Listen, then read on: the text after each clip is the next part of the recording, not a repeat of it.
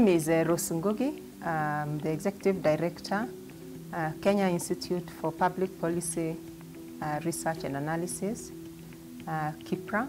KIPPRA is a, a government uh, institution. We are under the State Department of Planning, uh, the National Treasury and Planning uh, Ministry.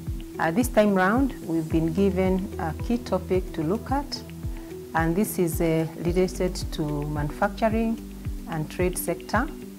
Uh, I'm aware that uh, uh, there is an aspect of climate change uh, in the theme of uh, this devolution conference, but we shall concentrate more on issues of manufacturing and trade issues. For the first time in two decades, Kenya economy had a contraction in 2020. It contracted by 0.3 percent. Manufacturing sector was able to take advantage of uh, opportunities that were emerging, especially in uh, manufacturing the PPEs. Despite taking um, uh, advantage of PPEs, the key measures that uh, uh, were introduced uh, affected the operations of the sector.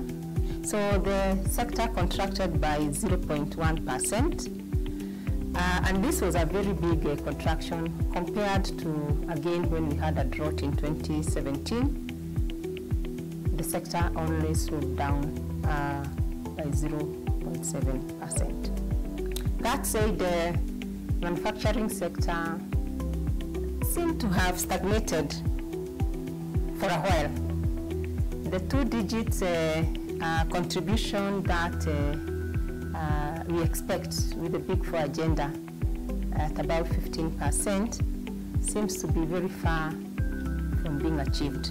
Less than 10 counties uh, have a substantial manufacturing sector contributing about 3% of the gross county GDP. The dominating activity at the county level is actually agriculture.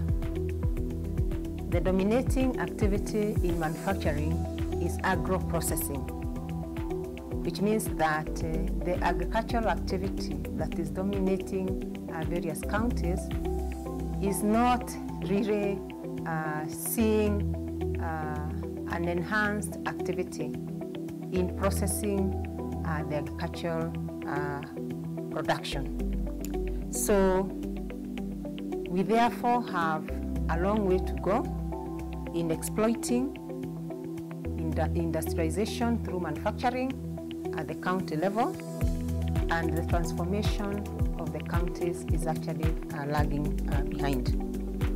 Several counties have uh, potential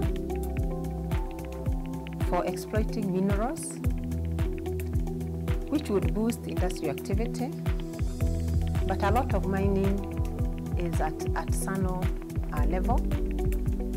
They are yet to attract uh, big investors that will commercialize the mining activity and transform the livelihoods at the county level. Trade is a crucial economic activity in that it helps in distribution of goods and services. It also helps to reach out uh, to the consumers. With COVID, uh, domestic trade um, contracted uh, by about 0.4%. External trade was also affected, but had mixed results.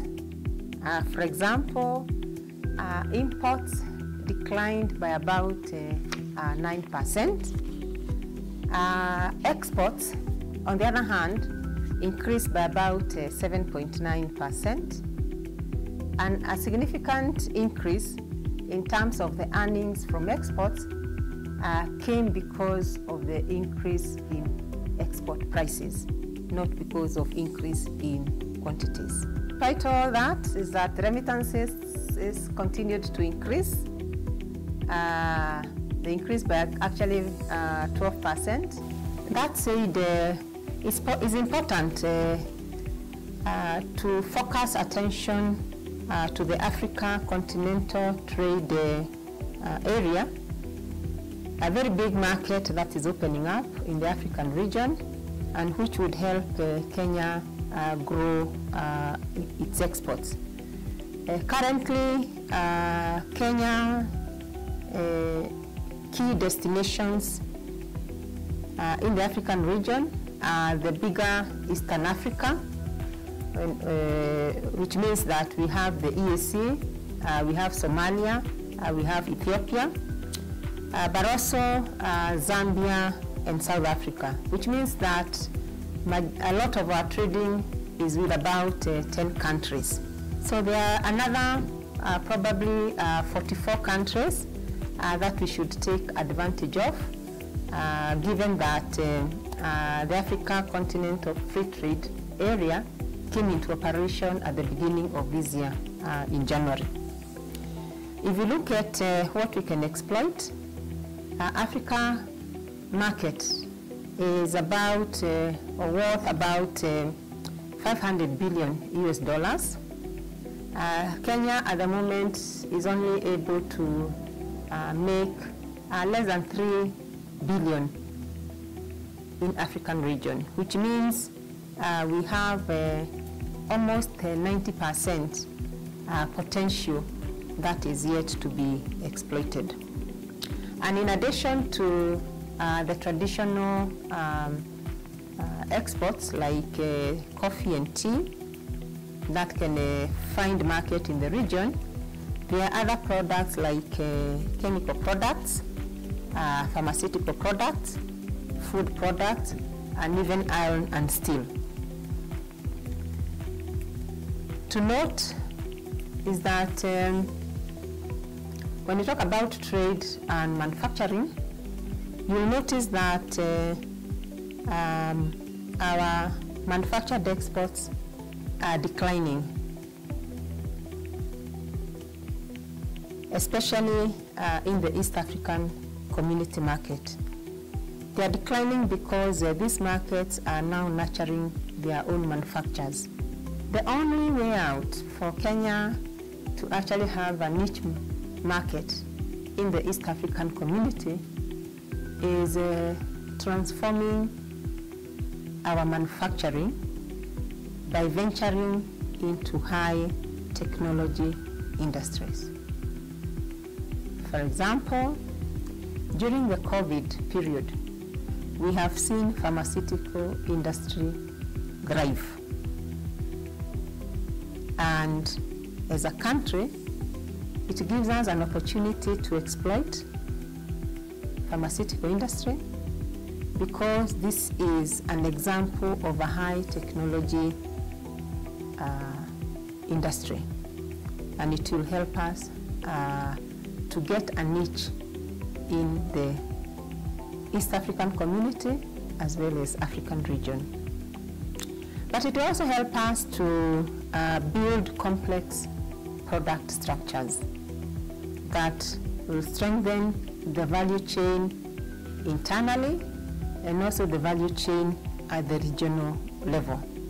And when you have uh, uh, complex product structures, it helps you to see transfer of technology from the large farms to the informal micro uh, enterprises through subcontracting. Currently, manufacturing sector is uh, dominated by uh, micro enterprises that use uh, very rudimentary technology which exposes them to uh, cheap imports. In addition, the micro enterprises are investing very little on innovation. And as such, they are finding it a challenge in upgrading the quality of their products and therefore penetrating uh, the export market. MSEs also tend to be in commercial areas rather than in uh, industrial parks and this denies them a key uh, advantage of conglomeration. You see, when you have uh, industries conglomerating in an industrial park, it means that it gives an opportunity for learning. It gives an opportunity for technology transfer. It gives an opportunity for networking. And that way, uh, we should see uh, uh, micro enterprises being able to transform in adopting uh, higher technology. Kenya has an advanced technology that it is not utilizing at the moment. Uh, during uh, 1980s, when Kenya was venturing in the Nyayo car, it invested in a computer numerically controlled technology. It also invested in a, ductile iron foundry, but we are yet to see uh, this technology fully uh, exploited. And for MSEs, instead of uh, struggling to get the tools that can help them uh, uh uplift their technology, exploiting this uh, technology that we have would actually support them with these intermediary goods. Since manufacturing and even our exports are agriculture based, anytime we have a drought situation, it affects that key input that goes to agro processing. And uh, without uh, having exploited uh, uh non-rain fed uh, agriculture, uh, then anytime we have a drought condition, we see a manufacturing sector being severely affected. In terms of carbon emissions, I would say that Kenya may not necessarily be making high emissions.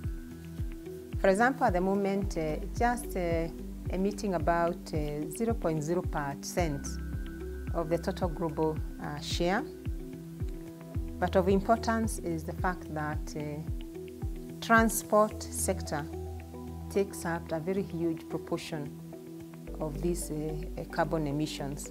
Transport takes about 40% of the total emissions, but in addition to that, uh, industrial sector also, the industrial combustion, uh, takes about 20%. Uh, so as we see urbanization grow and as our desire for manufacturing also intensifies.